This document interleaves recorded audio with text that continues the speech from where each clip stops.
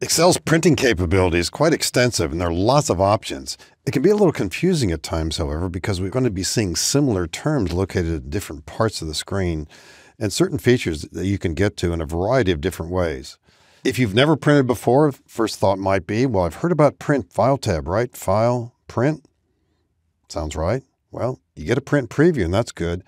You might be a little surprised as you look at the bottom of the screen, and you should always do this. 52 pages, that seems like a lot. You can scroll up and down the list if you wish. Sometimes, if it's large, it might take a while to get through this. But what could surprise you in this case here is looks as if Excel's going to pick up maybe the left side of the screen, then the right side. And this is still going on. It's only like halfway through here, 25 pages. Where are we here? 30 pages. Excel is trying to print everything. You probably didn't mean that. Let's escape from here. I'm going to scroll to the right and point out that this worksheet has data way off to the right. Excel assumes you want to print everything unless you indicate otherwise, so we could approach this a little bit differently. Why don't we highlight the data we're interested in? Maybe we only want to print the data from column J leftward. We could click across this way, highlight that, and use what's called the Page Layout tab in the ribbon. There's some other printing choices here too. How about Print Area, Set Print Area? Then we could go into Print Preview. Another quick way to get to Print Preview, keystroke shortcut, Control P. Here we are. You'll see this button to the right, show Print Preview. Now it says 34 pages. Looks like we're on the right path here. Again, kind of scrolling quickly through this, we get a sense of, we see the left side of our data, then the right side. It, it didn't go pick up anything to the right of that, so we're looking better there.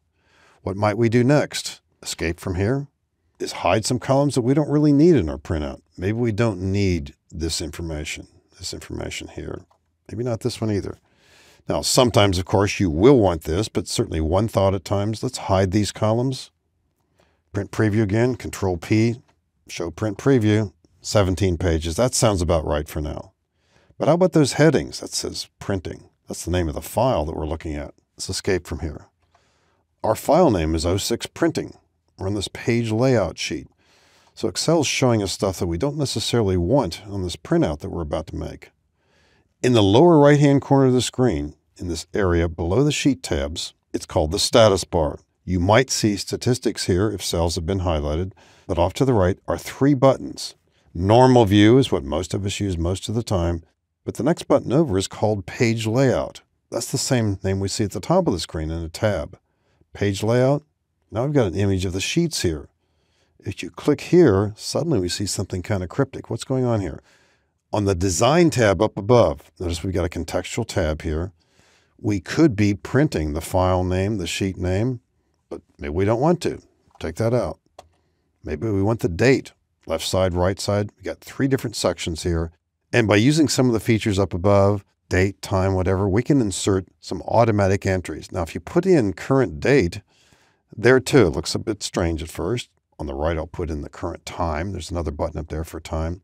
But to see what these are going to look like, just click below it down in the data. It's going to look like that. Maybe that's what we want. So let's do a control P again, see how that's looking. Show print preview, and we see the times there, dates. You'll come to realize that when you print, there's a lot of back and forth. And if you're going to be working with this workbook and worksheet a lot, most of the printing adjustments are done up front. You don't have to constantly redo this next time you print. So one other option here too that we want to consider, scrolling up and down, we're on page two, page three. What happened to the heading? Well, it's only on page one. Once again, let's escape from here. And now we're going back to the top of the screen, page layout, the page layout tab from up here.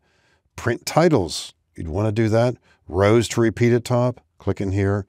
And in the background, we can click row one. Now, if we were on normal view, we'd be clicking in the same relative space. Right now we're in page layout view in the background. Print preview is the button right here. Click it. There's page one. I'm using the mouse wheel to roll. There's page two, page three, etc. So, and there's some other features off to the left that we didn't use. A lot of you are familiar with the term portrait and landscape. Landscape would not be a good choice here, but watch the screen. And now we see the data that way. At other times, of course, you'll reverse it. So not a good choice here. We go back to the other option, portrait. So at different times, you'll be making some adjustments over here. At some point, we will print. So different approaches to printing, starting perhaps with the page layout tab and also in the lower right-hand corner, of the page layout view. And in the next movie, you'll see some other approaches to printing that begin with different commands and printing features.